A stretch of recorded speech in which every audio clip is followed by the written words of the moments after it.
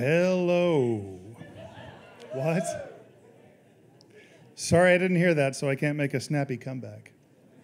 Um, I'll pop right in.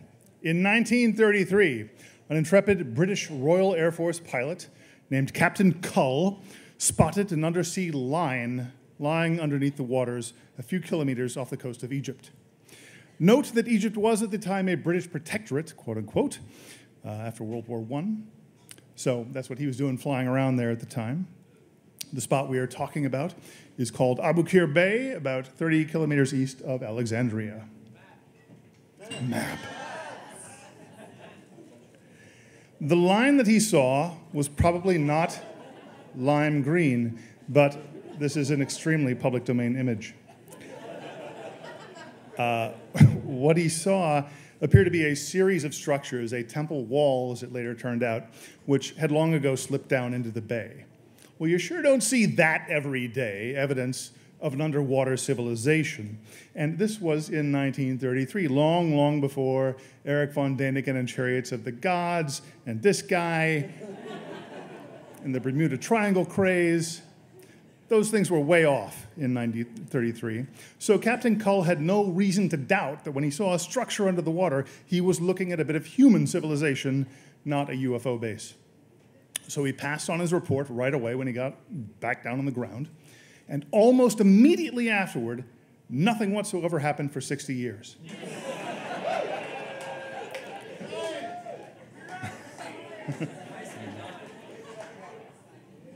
Why was there no follow through on this?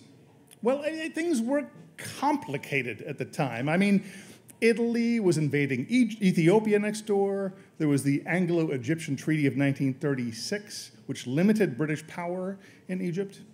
And there was also a lot of invasive archaeology happening in Egypt at the time in the form of Harrison Ford fighting Nazis over the Ark of the Covenant. So it was a busy time. in normal circumstances, if somebody says, Hey, I found a city that appears to be down at the bottom of our bay, everybody wants to hear more about that and Mediterranean civilizations in general that are lost. A couple of quick examples the city of Knossos in Minoan Crete.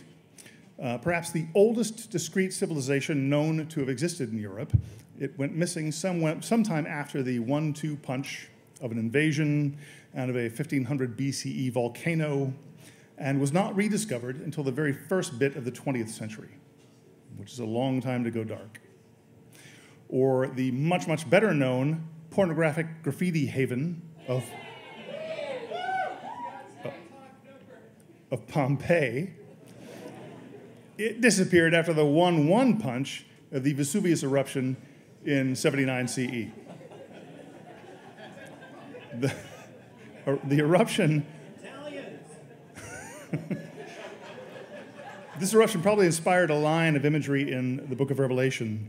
The second angel blew his trumpet, and a mountain all ablaze was thrown into the sea. So, this event sure was no secret, uh, but after a generation or two, and almost up to 1600 CE, Pompeii's location got lost. And of course, there is Atlantis, uh, where the. This is the available image of it. Um, Atlantis may have been in the Mediterranean, or more appropriately in the Atlantic, or under Dodger Stadium, or on the dark side of Alderaan. The only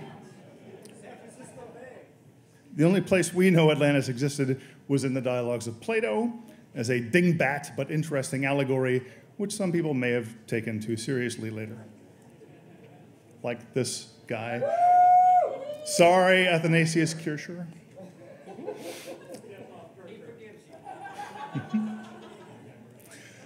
Lost Mediterranean civilizations, real ones or fictional ones, carry plenty of romance. But the one that I'm here to talk about tonight, the lost city of Heracleion slash Thonis, is maybe less like a vanished metropolis and a little bit more like what people of the year 2400 are going to find when they dig up the MacArthur Maze from the bottom of the Alta California Sea.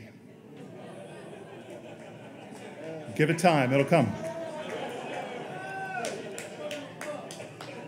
I don't describe Heracleion this way to diminish it, but to frame it as a port of call and a harbor complex standing on the islands and sandbars of a wetland. Think very vaguely of Treasure Island and Angel Island, plus Alcatraz and the Dumbarton Bridge and some landfilly spans of the Embarcadero Piers. For hundreds of years, this harbor complex at the mouth of the Nile uh, was the public face of Egyptian commerce with the rest of the known world. 300 years before Alexandria was founded, this was the flag Egypt hung out to the Mediterranean. So, smash cut to this amazing guy. After that 60 year lull following 1933, enter Frank Goddio, employed internationally as a government mathematician slash economist until his early 40s, he decided to jump into a second career in undersea archaeology. Very easy transition to make career wise. I am always getting the impression from Goddio of one part Jacques Cousteau, one part uh, Buckminster Fuller, one part Tony Robbins. He's, he's a big self promoter, but in a way hard not to admire. Springing into action with a grinding half decade of methodical seafloor scanning, funded, funded by who else? Liechtensteinian tool-making magnates the Hiltis, Goddio mapped 110 square kilometers of the seabed in Aboukir Bay before ever digging up a single thing. There's a lot of silt out there. He made maps, that is certainly true. And by 1996, uh, could be methodical since there were relatively few Nazis to compete with over interpretations of world history. And I wish that were still so.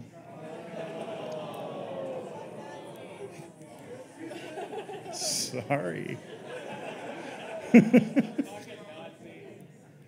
so let's run down what this whole thing's about archaeologically. The Nile, flowing north, of course, spreads into its famous delta in the final approach to the Mediterranean.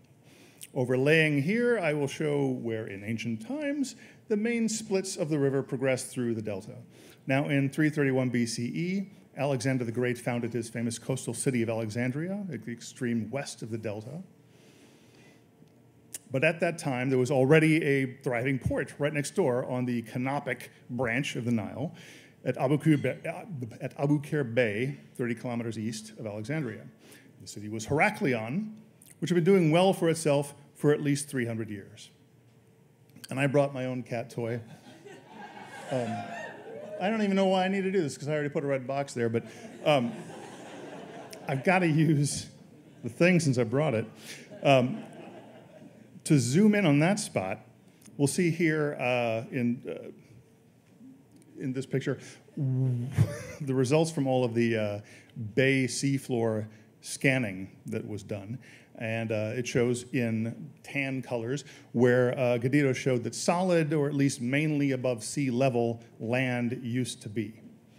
And the next box I'll zoom in onto is the one that contains this schematic diagram of what the Heracleion city complex used to look like. So, uh, of important note to this group tonight is that where you see the blue peppering, um, like all of, no, all of that stuff, those are where anchors were found. And where you have anchors, you have uh, some of which were also found in full shippy form too, not just the anchor. Uh, these are the larger blue diamonds that you see splashed around. So a good 66 ships have been turned up from around this site. Most of them uh, were scuttled deliberately back in the day. This is a much older map of the bay before any of this work had been done to excavate, um, and it shows where scholars expected to find Heracleion uh, back on land. And this is probably why I really brought the pointer. They thought it would be there and that it would be two towns called Heracleion and Thonis, um, not out in the middle of the sea, but on land, of course, uh, which they thought were, uh, were two cities sort of that lived cheek by jowl in the same sense as Minneapolis and St. Paul or Buda and Pest, twin cities. Uh, but we now know that Heracleion and Thonis were just the same place, uh, whether under Egyptian versus Greek naming. So, Nobody could seem to find this place, though, uh, but we knew Heracleion should be someplace because it was mentioned a good three, four uh, times in important ancient sources. First of those is the father of history and chatty Cathy, Mr. Herodotus, who never minded passing on false oddities if they interested him, and God bless him for that. So here he is in a statue, and here he is as a character in Assassin's Creed. Um, which tells you that Herodotus was important enough to be both a statue and a character in Assassin's Creed. Herodotus wrote in the middle 400s BCE and is the man who gave us the genuinely hard hitting, journalistic, totally real, and unrumored story of what was once called the Battle of Thermopylae and is now better known as this thing. but Herodotus gave us a lot else along the way in his wonderful, weird book, like that griffins and cyclopses are real, let alone uh, these ants he talked about in Persia, big as foxes uh, that dig up gold dust. So when you hear something from Herodotus, you verify it. But he said there was a city on the canopic outlet of the Nile where not only did the demigod Heracles himself once alight, giving the city its name, and here's Heracles for you in super cool mode, um, showing you how to dress when you need to fight a lion.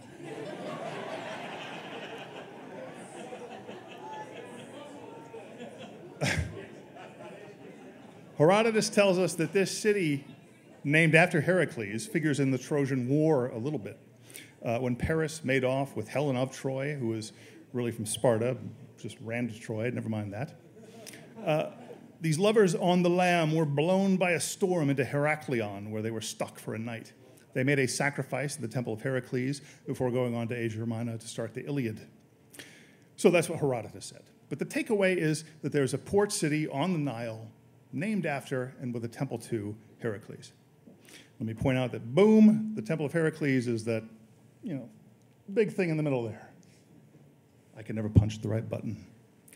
So, to clean up real quickly, there were other ancient sources about the city. These would include Strabo, whose geography, I will tell you, is ungodly long, and Diodorus Siculus, whose Bibliotheca Historica was also less interesting than Herodotus.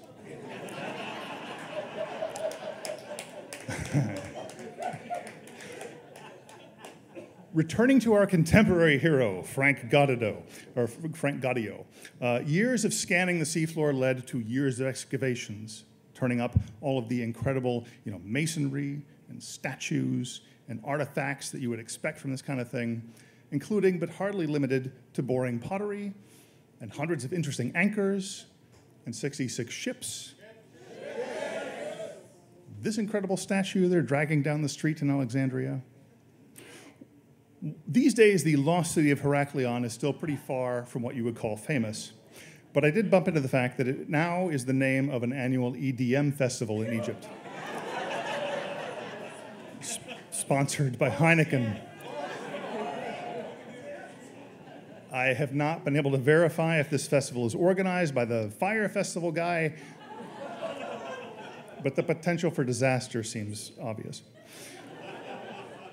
The big question is what the hell happened? We have this buzzing metropolis of ports, temples, custom houses, which conducted the business of the Nile Valley with the world for a thousand years, vanished. It did lose some prominence over time to Alexandria, but the real story is in a phrase that will have a chilling ring to Bay Area ears, and that is soil liquefaction.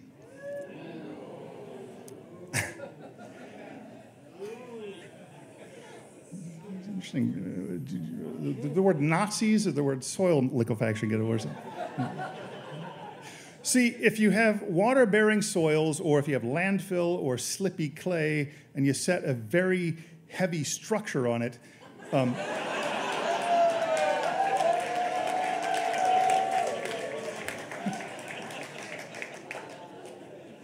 then it only takes so much tectonically to send the thing underwater. There is some evidence that stragglers were on a couple of islands in Heracleion at the time Islam came to Egypt in the 600s CE. But it was around then that the city's name passed out of history and all memory of its location went dark. People forgot where it had been. No word of a specific catastrophe, and this is more a slow tectonic story than a climate change story, but it was mysteriously forgotten, at least until 1933 when Captain Cull saw it, then it was forgotten again until 96 when Goddio and his team began to discover the city anew. So let us raise our glasses to him, uh, to their discovering spirit and his team, and to the hope that someday someone will also dredge up from the bottom of the sea all these interesting spots where we live and work today.